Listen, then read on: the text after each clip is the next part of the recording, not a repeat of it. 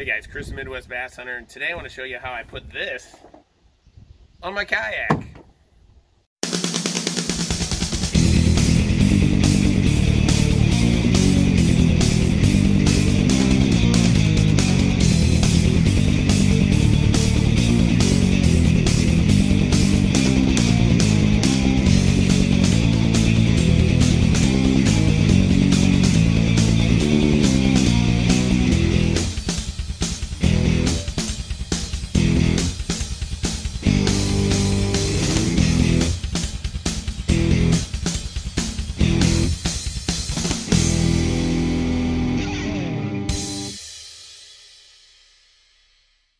All right, so I've been kayak fishing for a while and I decided I want to get a depth finder kind of up my game a little bit, see if I could learn a little bit more about fishing.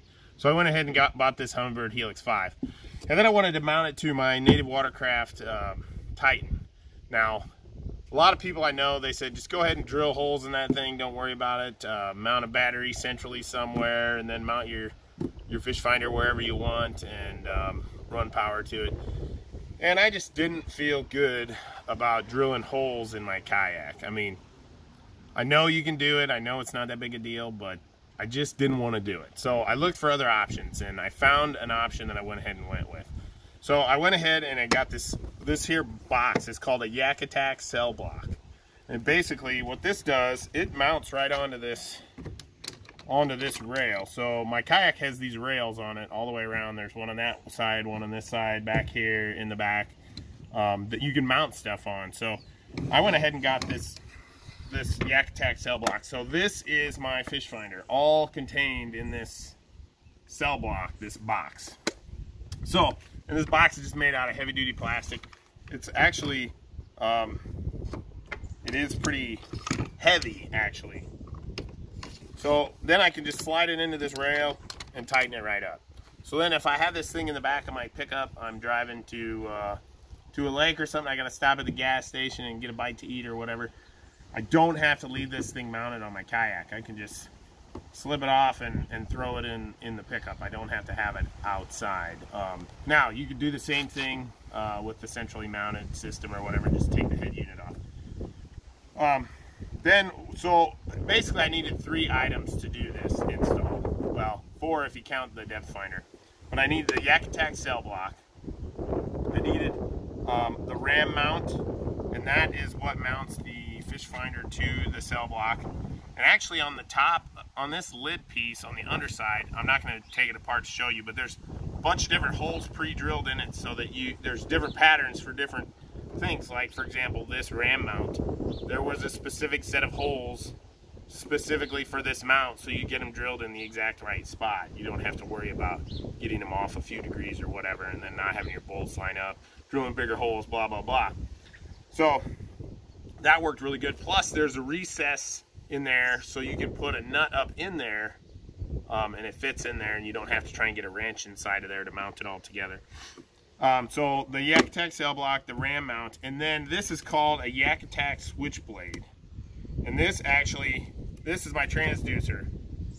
It's mounted on this right here, and this goes down into the water and just folds down. So it just folds down into the water. I've got it about an inch under the hull of my boat.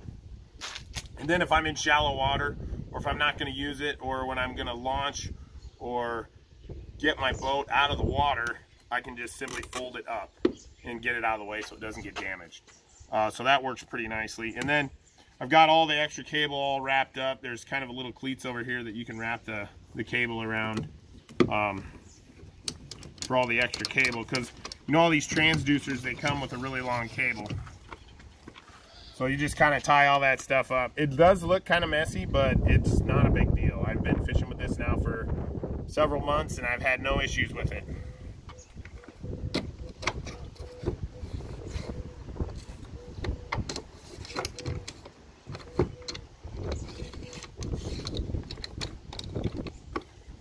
There's a door right here, and that's where your battery's housed. So this is just a, uh, an outdoor battery. This is a this is just an interstate um, AGM battery. you want to make sure it's an AGM battery. If you use a liquid acid battery, obviously you can't lay it on its side. But being an AGM battery, you can lay it on its side. And it slides right in there. And then you just hook your wires up. You got to have a fusible link. So whatever fuse that your depth finder calls for, put a fuse in there. And then you just put it all in there and away you go. Um, it's not the only way you can do this. And I've heard some, some criticisms and, and they are real. So for example, if you're paddling this, now this is a uh, Titan Propel. So I have a pedal system. It's not in the in the kayak right now. I took it out so we could do this video. But um, so I'm pedaling this kayak most of the time.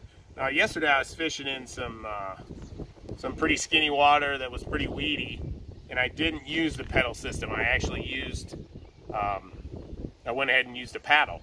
But um, I didn't even take my depth finder because I knew the water pretty well and it's pretty shallow. There's really no reason to have it. But if you're paddling if you have a paddle kayak only, this could get in your way when you're paddling. Now, one thing on this kayak to solve that is that I can just move this forward.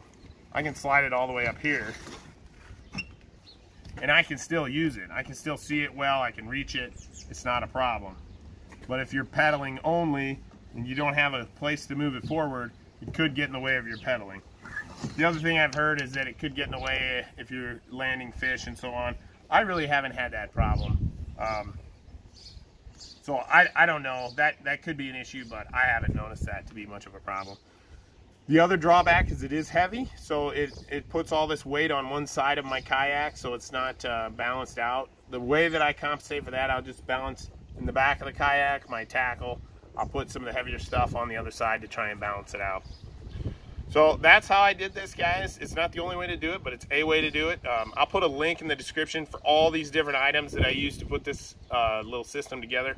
Um, it works really good for me, guys. If you have any questions, just leave a comment, and I'll be sure to try and answer them for you. Thanks for watching today. Make sure you subscribe to my channel. Hit that little bell so you don't miss anything. Lots of great fishing content and gear reviews and just little how-to things like this. Thanks for watching.